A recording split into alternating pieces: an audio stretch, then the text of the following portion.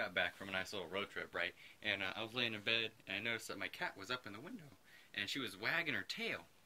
Um, and I was like, okay, cool, whatever. I'll watch and see what she's wagging her tail at. And it wasn't this one. Uh, Noodle was up up here. She was just kind of standing here.